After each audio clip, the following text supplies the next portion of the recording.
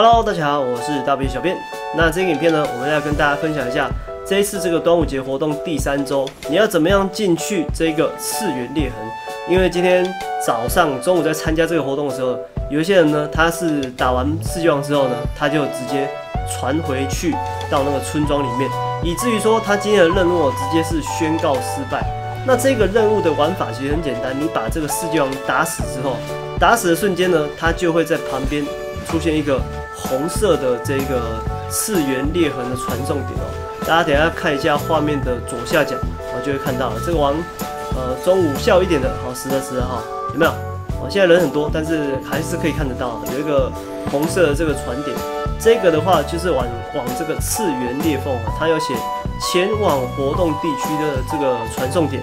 那么点一下之后就可以进去了。不过进去的时间呢，其实你也不用那么急，因为现在进去的话人一堆，你可以等晚一点，就是因为它这个次元裂痕都还会在，所以我们晚一点进去也是可以哦。所以你看，如果我们很早进去的话，你就会看到一堆人在跟你抢怪啊。那这些怪物呢，你只要打十只就可以这个满足这一次的活动任务条件。好，但是如果你是远攻近战的话，基本上都要把那个礼貌关掉了哈。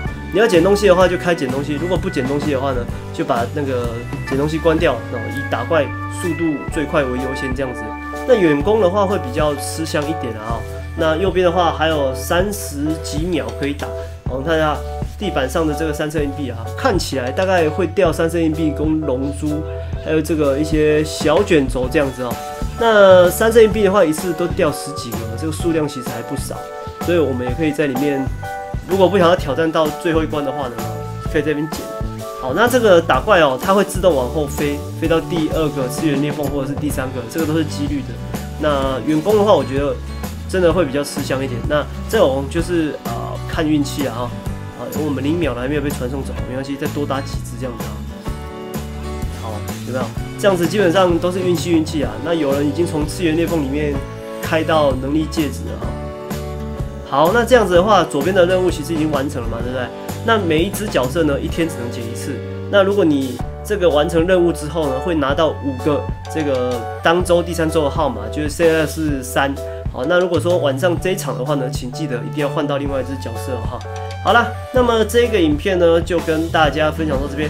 如果你还没有解这个任务的话呢，请记得一定要啊，在打完四望之后呢，慢慢的等等到这个。